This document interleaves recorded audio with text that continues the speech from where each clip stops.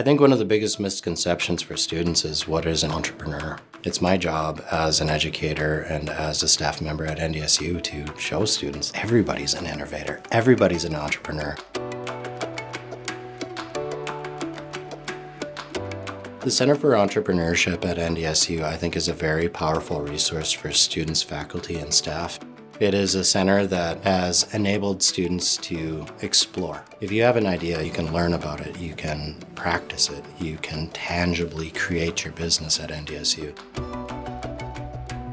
IC Outdoors, the majority of it is putting lights inside of spearing decoys and fishing lures. When we first started this, we had no clue really what it took to start a business. We wanted to break the nine to five, or even if we wanted to continue our nine to five, we wanted to have a side gig, something that we can build towards. We all love what we're doing, and we want to make this thing grow. This has been a great year for us because we have opened up our library space and created a CoLab, which is a collaboration suite. Students have met up there, they've had ideation sessions, they've had working groups where they just come in and hammer out new ideas.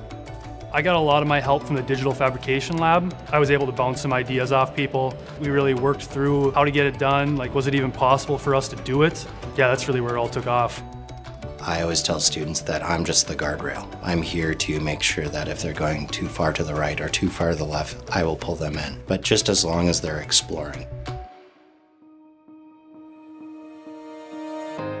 The skills taught here at the Entrepreneurial Center, I, am going to call them life skills. When I was going through college, this wasn't an opportunity, and I think it's just enormously beneficial to this community to have a program like this where students can, can learn on the ground, get their hands in it, and come to the workforce prepared.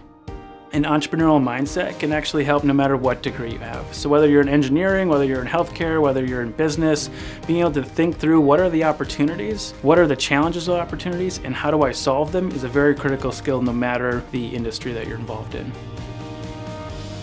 They really just do want to see us succeed. It's not just about getting us through our classes and having us pass. It's more about what we're going to do post-college. I want that success story where the student says, you know, I didn't know that I could do this, but I did it.